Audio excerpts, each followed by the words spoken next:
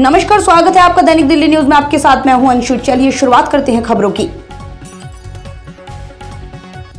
उत्तर प्रदेश के युवा समाज सेवी व प्रगतिशील समाजवादी पार्टी यूथ विंग के प्रदेश अध्यक्ष सऊद खान ने अपनी सामाजिक सहयोगी छवि से जनता के दिल में विशेष जगह बना ली है, जिसके चलते राजनीति के शीर्ष पर पहुंचकर सऊद खान के चेहरे को प्रदेश में बड़ी पहचान मिली है। तथा अपने सरल व्यक्तित्व के दम पर आम जनमानस के दिलों में जगह बनाने को लेकर सऊद खान उत्तर प्रदेश के राजनीतिक गलियारों में चर्चित हैं।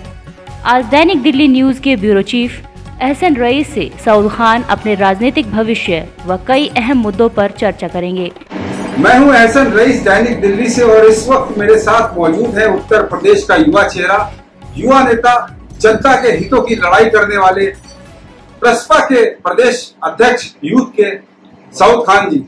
हम इनसे सीधे बात करेंगे और कई विषम मुद्दों पे बात करेंगे। हमारे साथ मौजूद है सऊद खान जी। सऊद खान जी, मेरा पहला सवाल आपसे ये है कि प्रदेश में भाजपा सरकार है और बहुत ज़्यादा इसका विरोध हो रहा है। आपकी पार्टी किस हद तक इसका विरोध करने को तैयार रहती है?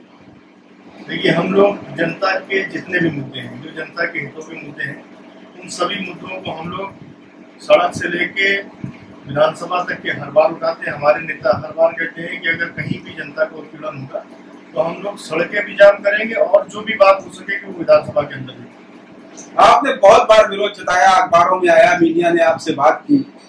अभी 2022 का चुनाव आने वाला है वित्तीय वर्ष आ गया है? क्या तैयारियाँ हैं चुनाव को लेकर आपकी?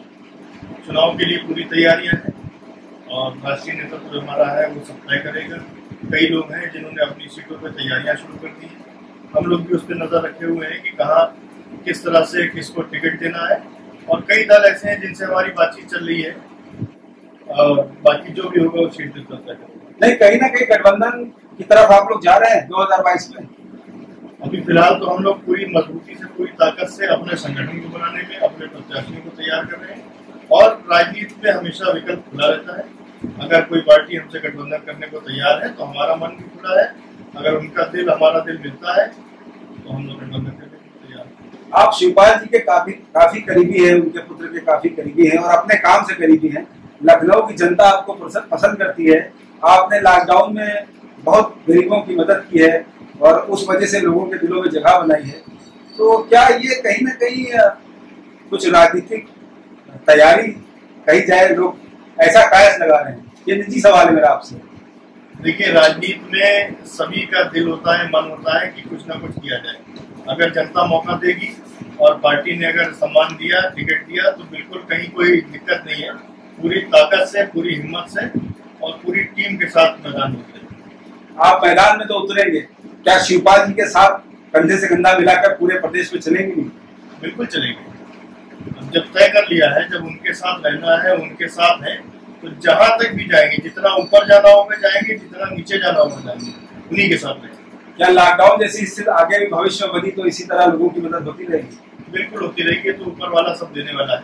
हम आप ज़रिया है आपने भी मैंने पता किया कि आपने भी बहुत सारे काम ऐसे किए आपकी टीम ने किए। तो ये ऊपर वाला ज़रिया है बनाता है किसी ना किसी को अगर हमारे अंदर हिम्मत है ताकत है अगर हम कर सकते हैं तो हमको और आपको सबको आना समाज के लिए यही एक ऐसी चीज़ है जो जीवन में लोग याद रखते हैं। ये आ, सीधी बात कार्यक्रम है हमारा। दैनिक दिल्ली से एक पर्सनल सवाल मुझे आपसे पूछना है। आप का जो समाज की तरफ़ जो सेवा का नज़रिया था वो राजनीति में आने से पहले था या राजनीति में आए तब से शुरू हुआ? बहुत पहले से था। ये जब कॉलेज टाइम से स्कूल के टाइम था तब से ये था कि किसी की किसी तरह मदद करी जाए। और कोई ना कोई वजह ज़रूर होती है कि इंसान राजनीति में आता है। सोशल वर्क करते करते ये लगा कि हाँ लोगों की मदद करनी चाहिए। मदद करने के ज़रिए होते हैं कि अधिकारियों से मिलकर आप मदद कर सकते हैं। और अधिकारी आजकल इतने ढीठ है कि आप जब तक कि आपका पीछे की बैटिंग नहीं है या आप किसी दल में नहीं है या आप मज़बूत नहीं है तो आपकी बात सुनते नहीं और कोई भी किसी कमज़ोर की बात सुनता नहीं जिस दिन आप मज़बूत होंगे, आपके लोग भी सुनते हैं, आप लोगों की मदद भी क्या कहना चाहेंगे हमारे चैनल के माध्यम से प्रदेश की जनता प्रदेश की जनता से मैं यही कहना चाहूँगा कि आज जिस तरह से देश और पूरे प्रदेश में जो हाल है, जिस तरह से उत्पीड़न हो रहा है, बलात्कार हो रहे हैं, किसानों के लिए काला कानून लाया जा रहा है तो इस, ये जो बीजेपी की हुकूमत है, जो जैसे ये फैसले ले रहे हैं, इन फैसलों को हमारे साथ कंधे से कंधा मिला के सड़क आकर चुनौती दे, हम सरकार भी बदलेंगे और माहौल भी बदलेंगे। इसीलिए मैं आह्वान करना चाहूँगा अपनी तरफ़ से भी और अपनी पार्टी की तरफ़ से भी कि जो भी गलत हो, अगर अन्याय है तो उसके लिए उसके पीछे खड़ा होना पड़ेगा, उससे लड़ना पड़ेगा।